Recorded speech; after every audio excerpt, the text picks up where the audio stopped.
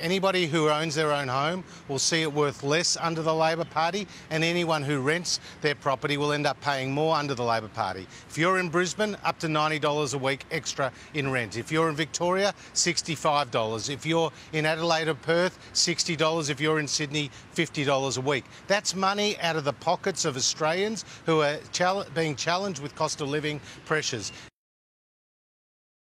Authorised A Hirst, Liberal Party, Canberra.